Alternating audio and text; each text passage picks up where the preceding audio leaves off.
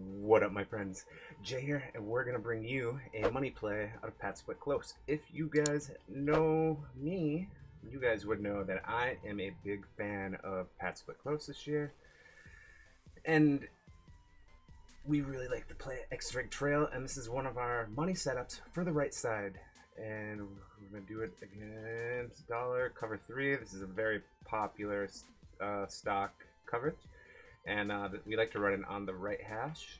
And our favorite setup is going to be we're going to out the left running back, streak X, motion slant B. We're going to motion him across, and you don't want to hike it until he's no longer visible, because it's it's a spacing thing where we're going to force the user to guard A or B.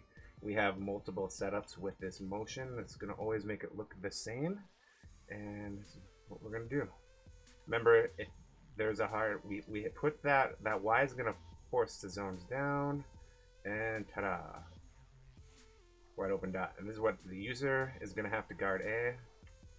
And if he does guard a we hit the slant. We're gonna force him. As you can see this slant is really good. Make sure he, he's no longer visible at the spacing thing. The spacing is gonna be the best. If you motion him when you can still see him when he's crossing Spacing isn't very good. It's a good timing setup. Dun, dun, dun, dun. Absolutely gonna kill somebody who's just sitting in stock cover three. We're gonna be we're gonna hit we're gonna hit the we're gonna force remember if there's no hard flat there, you give it to Freeman. And uh, this is one of my money setups, Drake Trail, Pat Split Close. We're gonna give a guide of this formation breakdown.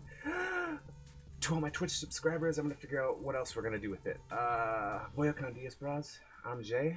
Hope this brings your game to the next level. Ah.